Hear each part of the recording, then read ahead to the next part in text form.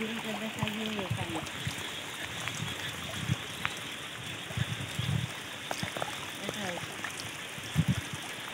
এইটা দেখুন কত পানি। সেই গছটা দেখা গিয়ে